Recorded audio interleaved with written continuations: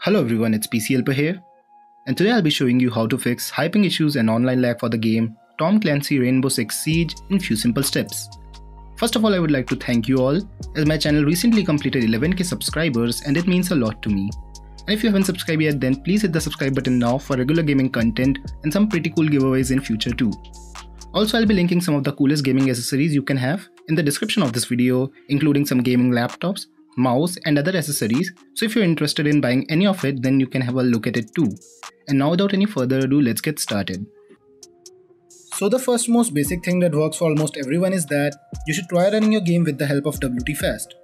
The main purpose of this software is to fix online lag and high ping issues, but it is the most helpful software to fix server issues too. But using it is a bit complicated, so I've already made a guide on how to run any game using this software I'll provide the link of that video in the description of this one so you can easily watch it. So just run your game using WT Fast and your problem will most probably be fixed but if you're still facing this issue then proceed to the next step.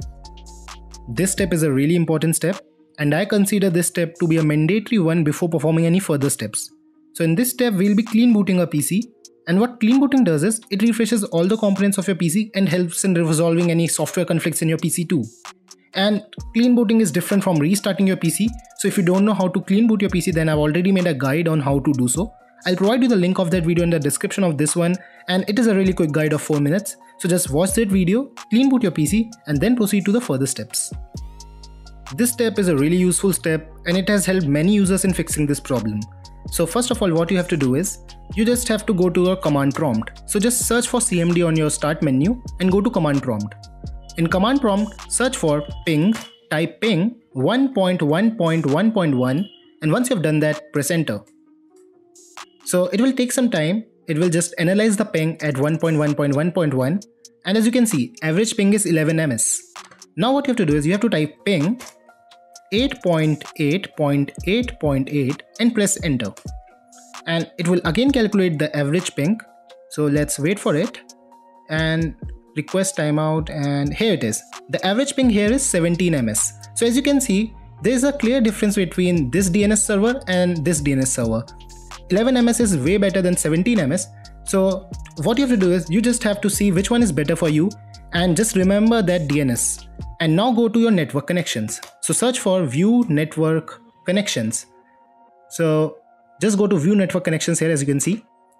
And here you have to go to your current network to which you are connected right now. So I'm connected to my Wi-Fi. Just double click on your Wi-Fi if you're connected to your Wi-Fi or you can just select your Ethernet if you're connected to your Ethernet and go to your properties. In properties, you have to select Internet Protocol version 4 and click on OK. Oh, click on properties, not click on OK, click on properties. And in properties, by default, it is on obtain DNS server address automatically.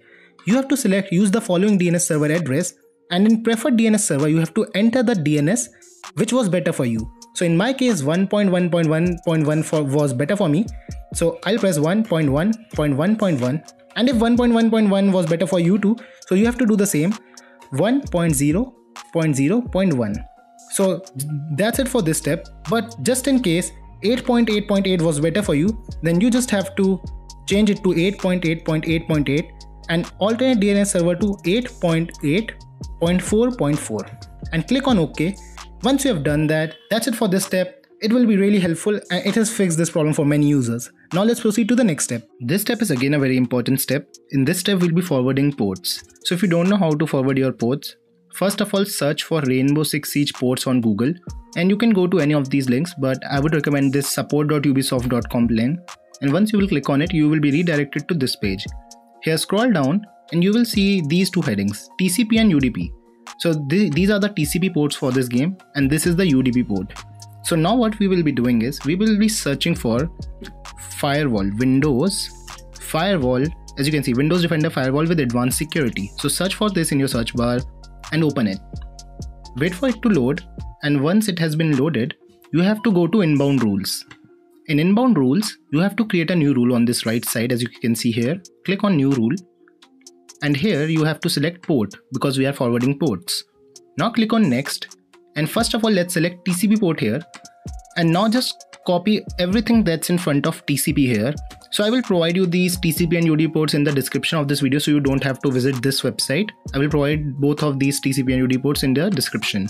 So first of all, let's just copy the TCP ports and just paste them here in specific local ports. Click on next, allow the connection, click on next, domain private public, select everything, click on next and give it the name, let's say rainbow 6, that's it, and finish. Now let's create another rule for UDP port. Again click on port, click on next, here instead of TCP select UDP and copy the UDP port from the description of this video. And once you have done that, paste it here. And once you have pasted it, click on next, allow the connection, click on next, domain private public, click on next, and also give it the same name that is rainbow 6. And once you have done that, click on finish and that's it for this step. Restart your PC and now when you will try to run your game, you will definitely see a significant improvement.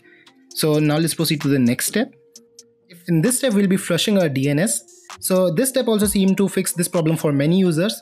And to perform this step, you just have to go to your CMD again, that is command prompt. And once you'll open it, you just have to type ip config space, then give a slash backslash and flush DNS. I'm just confused. Is, is it a backslash or forward slash? I'm just confused. So whichever it is, ipconfig space slash and then flush DNS. And once you've typed it, press enter. And it will see, you will see on your screen Windows IP configuration successfully flushed the DNS resolver cache. And that's it for this step. It is that simple try running your game and most probably you will see a difference if you are facing high ping then it will also help in that case and if you're facing any server error it might fix that problem too so that's it for this video. I hope you found this video helpful. If you like this video then please leave a like on this video. If you have any doubt write in the comment section and also don't forget to subscribe to PC Helper for regular gaming content. Thank you and have a nice day.